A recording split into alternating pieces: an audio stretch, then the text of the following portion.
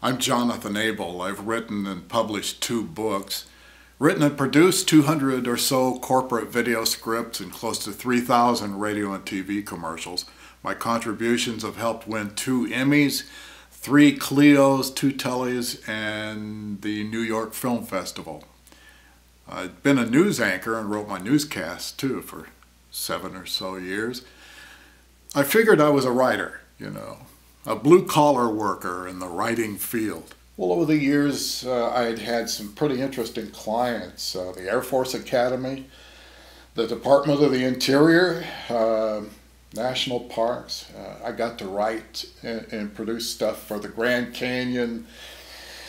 Civil War battlefields, uh, I, I, had some of the, the greatest experiences working with Indian tribes, uh, Apache, Navajo, Hopi, and the Cherokees, and and uh, just finished a four-year project with the Nez Perce Indians up in uh, the Northwest United States. I figured, you know, I'm a writer, but a real screenplay, I'm here to tell you it's a completely different animal. Uh, my new literary agent shopped my book at some major studios and networks, and somebody liked it. So then they're saying, Where's the screenplay? So I needed to adapt the book rather suddenly into a one hour screenplay, a pilot for a top network. Now, when I'd finished it, I heard about Claire Hutchinson. I asked her to read professionally, read my screenplay, and see if I was on track. Analyze it.